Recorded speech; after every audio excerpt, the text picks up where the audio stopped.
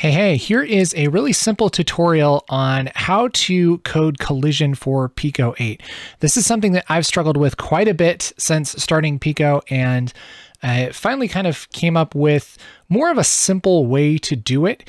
And uh, full disclosure, this is heavily based, just about, just about completely stolen from this guy right here, Scathe from the Pico 8 forum. He writes a simple collision function. I've downloaded this and used this quite a bit. And so this tutorial is based on this code. A lot of it is completely the same. Some of it I've changed to be a little bit more beginner friendly, but it's very, very simple and a really great way to do it. So big props to this guy, play his cartridge, and it's just a sprite that has really nice collision all around.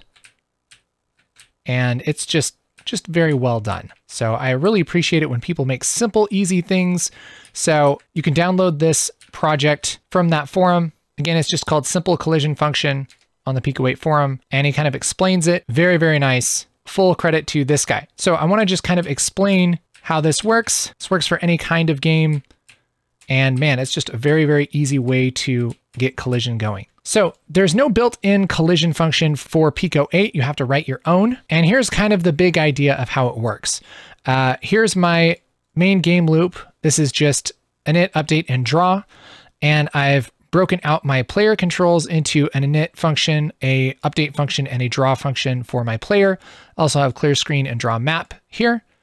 In the second tab, I have all of my player stuff, which is just initiates the player. This just makes a player table with an X and a Y. And in the update function, we have a function called move, and we're passing the player into the move. And then we draw the sprite here in dplayer. So this is all pretty simple stuff, stuff that I've gone over in my other videos. One thing to point out is that we're passing this player object as an argument into the move function, okay?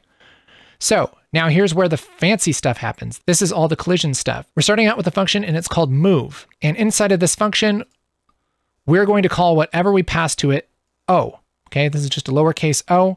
And here we are passing the player into it. So whatever we tell to move will run through this function and push that object into everywhere where it says O here. So we're going to move stuff. Basically how this works is before we do any movement of the player for each frame, we're going to take a little snapshot of where the player is right now. And we're going to store those as a local variable inside of this function, LX and LY. That stands for last X position and last Y position. So we're just saving those out so that we can use them later. And then we're going to try and move the player. And this is just normal movement code. These if statements are kind of shorthand. So if whatever's in the parentheses, then the stuff that's after it. Okay just a shorter way of writing an if then statement. So if button up, then we take one away from our y value that we set up here in the player. So this y would go up to 62, right? And same thing for down, left, and right. Pretty standard. But here's where the tricky part comes in.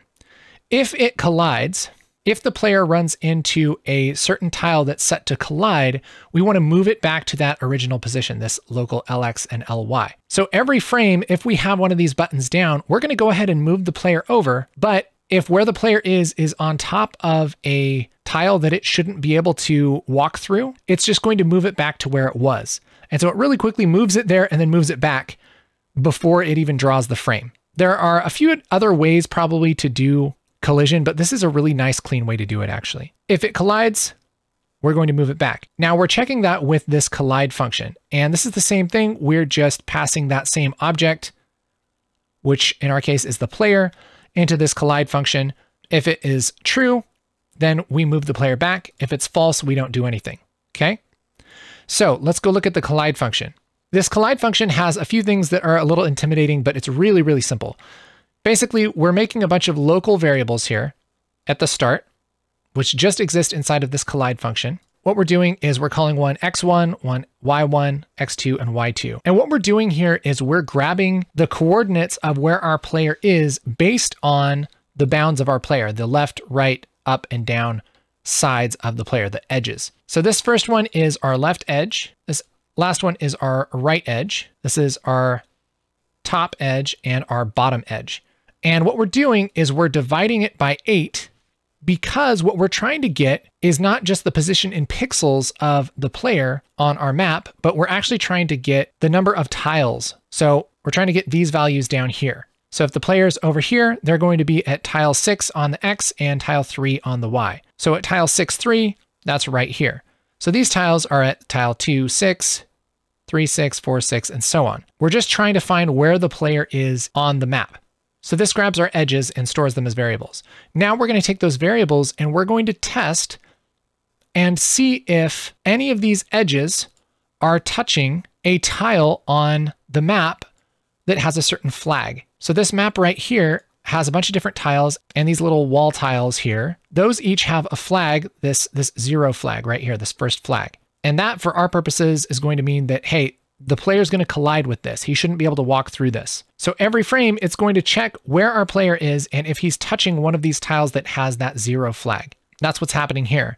mget is get the sprite that is at this coordinate, x1, y1, and fget is get the flag. This is testing if it's flag zero, and if it is flag zero, then A is going to be true. If it's not flag zero, A is going to be false. And same thing for A, B, C, and D. This is testing all of the different corners of our sprite, and we're just checking, okay, is this corner over anything that's going to collide? Yes or no? Is this one over anything that's going to collide? Yes or no? Is this one over anything that's going to collide? Yes or no? How about this one? Yes or no? And if any of these are true, then our player is over something that he shouldn't be over. So that's what we're asking here. If A, B, C, or D are true, that's what this means, then return true, else return false. Return is a command that basically sets this collide, whenever we test for a collision, it's going to return true or false. So we can return collide as true if any of these A, B, C, or D's are true. And if they're all false, then we're going to return false. So this is a big way to test if the player is colliding with anything they should be colliding with. If they are, then we set this here and we say, okay, if the player is colliding, if the player is where it shouldn't be, then we're going to move that player back to where he last was. So this all happens within one frame. So this collision, when we say move, which we're calling every frame, anytime we update, we're just going to call move. It's going to say, okay, where's the player now? All right. We're going to remember where the player is and we're going to test what button you're pushing. So if you're pushing right, we're going to go ahead and move the player right. And now let's see if this new place where the player is, one, one pixel to the right, is he colliding with anything? Let's go ahead and test if he's colliding. All right, let's get the edges of the player.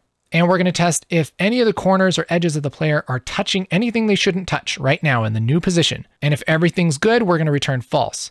But if they are touching anything that they shouldn't be touching, we're going to return true. That means that we are colliding.